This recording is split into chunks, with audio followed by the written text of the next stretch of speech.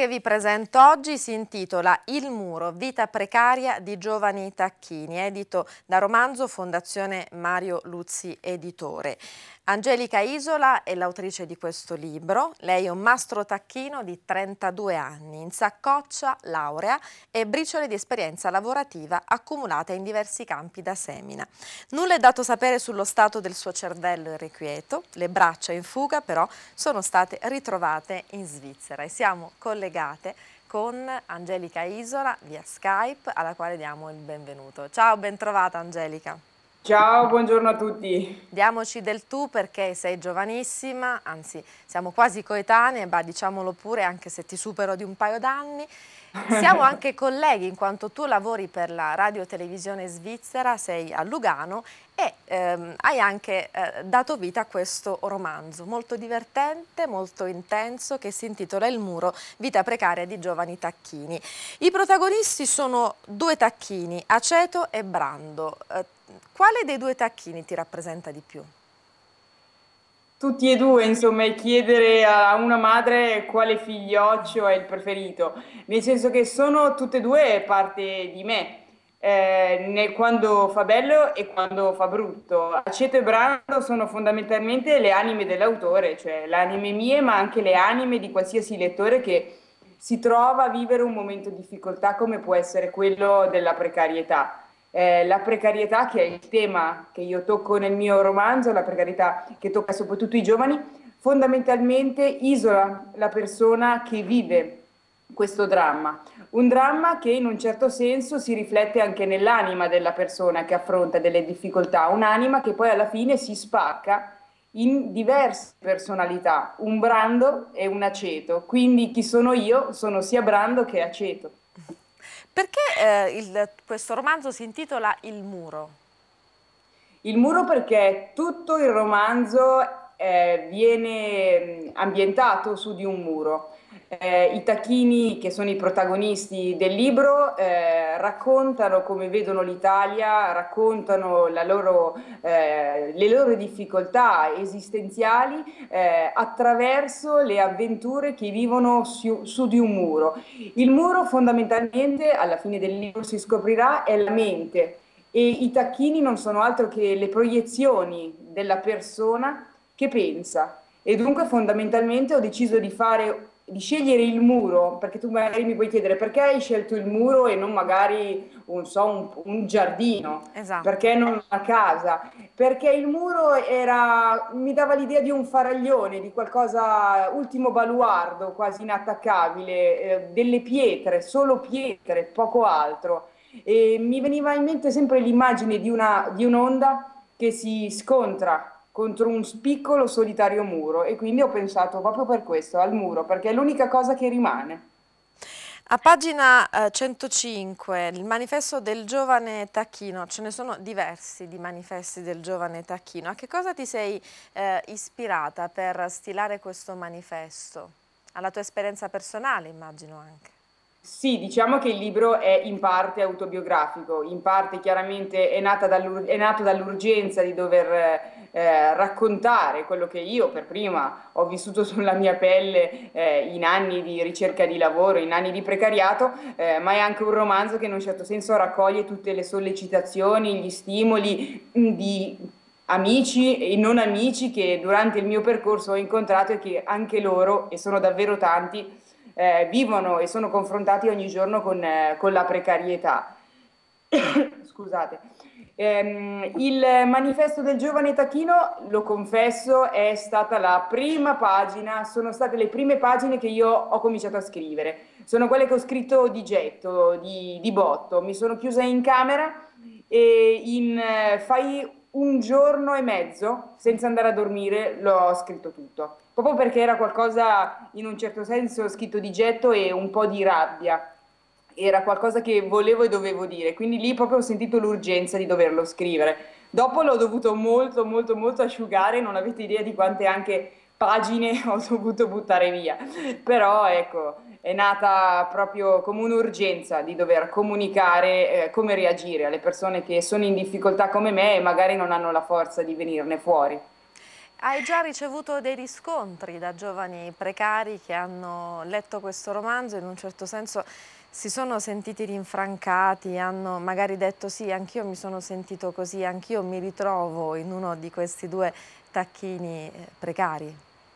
Sì, guarda, non hai idea di quante persone la cosa mi sorprende, no? Nel senso che io ho cercato di dare eh, vita a un romanzo per quanto possibile eh, vicino alla realtà ma la, come dire, la prova del 9 è stata proprio eh, quella di eh, avere dei riscontri eh, di persone che magari lo leggono e mi dicono sembrava che fossi nella mia testa, eh, mi hai fatto ridere? Perché quello che capitava eh, a me quando mandavo il curriculum era la stessa identica cosa che tu hai scritto nel libro. Quindi da una parte si sentono eh, rinfrancati perché si trovano meno isolati perché come dicevo all'inizio il precariato atomizza, rende soli e quindi all'inizio ti viene anche il dubbio di essere l'unico parto andato a male, no? Poi però ti giri attorno e vedi che sono in tanti a vegetare nella tua stessa condizione e io penso che è proprio la, il condividere, se vuoi, un dramma, no?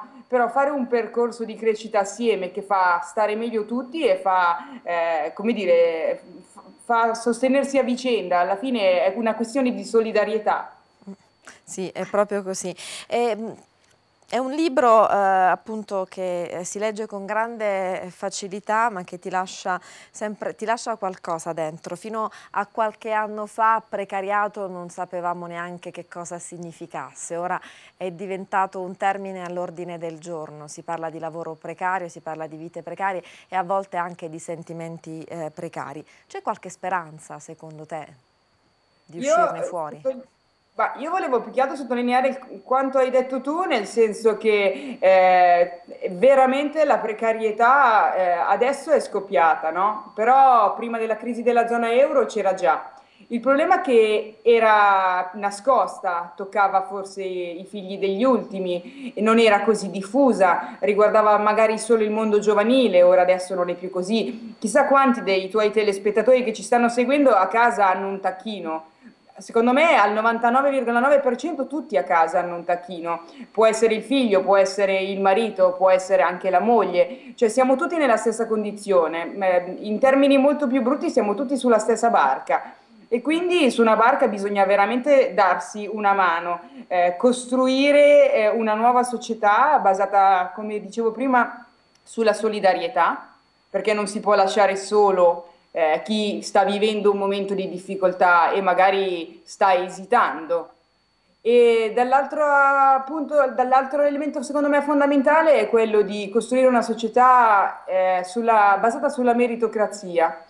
Cioè una società va avanti, si evolve, migliora solo se decidiamo di eh, darci delle regole, rispettarle e mettere nelle posizioni le persone che si meritano di essere in quelle posizioni perché sanno fare qualcosa meglio degli altri. Cioè, sarà banale, perché lo so che è banale, non ci sono ricette di lunga vita, però è così. Angelica, sei scappata dall'Italia oppure sei andata lì dove hanno avuto bisogno della tua professionalità, della tua presenza, del tuo lavoro? Eh, non sono scappata dall'Italia, eh, la mia è stata una scelta eh, di vita. Eh, ho deciso di andare a lavorare in Svizzera perché prima di tutto seguivo già da tempo la televisione e la radio dove adesso sto lavorando ed è stato un lento e lungo avvicinamento per tappe, per tentativi e mm, è stata proprio una scelta di vita e professionale. In più loro mi hanno voluto e hanno scommesso su di me, per cui è stato un amore a prima vista ricambiato, magari non proprio a prima vista, ma dopo un paio di tentativi. Senti, ti faccio una domanda banale, anche un po' stupida, che immagino ti abbiano fatto in 150.000. Ti manca l'Italia? Eh, no, Sinceramente no, ma, no. però non, non, voglio apparire come sai i classici giornalisti che non lo so, li mandano inviati a Parigi, eh, li vedi alla televisione con dietro la, la, Torre Eiffel e che dicono sì ma voi in Italia, dico ma come voi in Italia, sei italiano pure tu no? Quindi io no, no, non voglio passare per questo, assolutamente, mm, io sono italiana a tutti gli effetti appunto perché sono italiana e ci tengo il mio paese ho scritto questo libro che vuole essere proprio un tentativo eh, di ridere un po' su un tema molto delicato che è quello del precariato, e allo stesso tempo cercare comunque di seminare e contribuire nel mio piccolo eh, a creare un movimento, perché ci deve, dobbiamo creare un movimento per cambiare qualcosa, oppure l'Italia non andrà avanti. Detto questo, io dove lavoro e dove vivo ora mi trovo veramente bene, quindi non mi manca da quel punto di vista.